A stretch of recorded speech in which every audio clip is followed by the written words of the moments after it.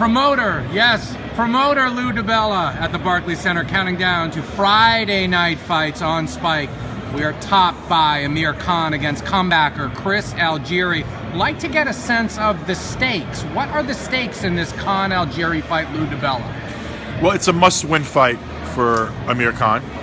Um, if he's if his dream of a Floyd Mayweather fight's ever going to hit fruition, or you know his dream of another huge matchup, another major major fight here, uh, a, a um, you know I think that that Khan is in that select few at welterweight um, who can factor into a huge fight, but people have great expectations of him, and particularly against a guy like Chris. I think they expect Khan to perform well with Chris Algieri, and and um, he needs to do that. And I think he's going to uh, throw down hard and, and, try to use his speed and power to assert himself against Algieri and make a statement.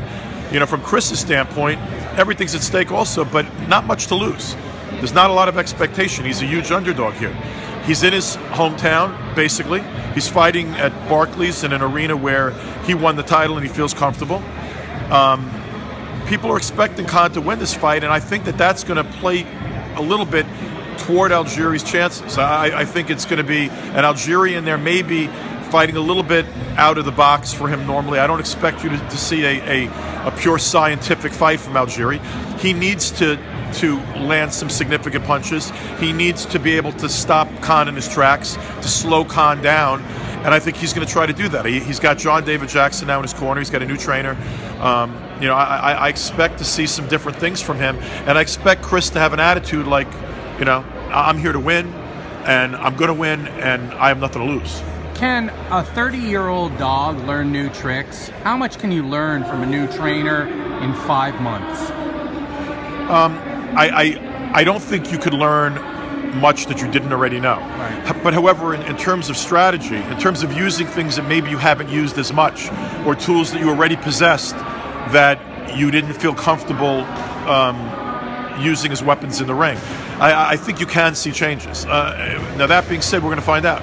Right. Um, and I think that like Khan is going to try to make a statement. Right. And I think the fact that Khan is going to try to make a statement may create some opportunities for Chris.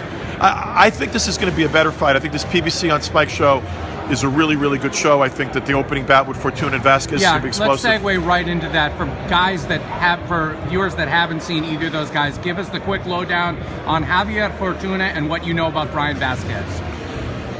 What I know about Vasquez, he's not a uh, run backwards kind of guy. He's an aggressive fighter. Um, he believes he's winning the fight. I know that Fortuna is a tremendously powerful puncher, uh, real dangerous offensive fighter, very exciting, always in wars. But that kind of guy who's always in wars also takes a lot of punches and and um, takes a lot of chances and is beatable.